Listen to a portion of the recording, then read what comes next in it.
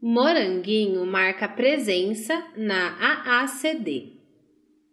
Você se lembra da menina de grandes cabelos e vestimentas rosas que vive na cidade das frutinhas? Há 36 anos, a Moranguinho e suas amigas fazem a alegria da criançada, tanto em forma de desenho como em produtos infantis aromatizados.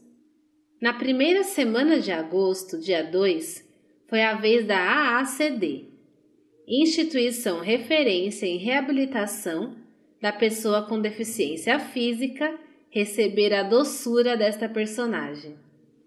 Com a visita da Moranguinho, cerca de 200 crianças foram beneficiadas.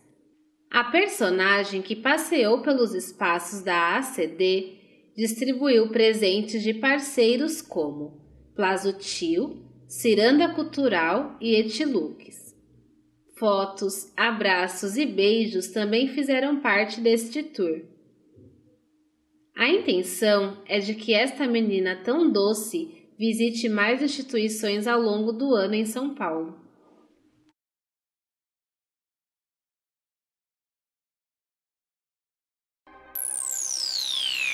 Música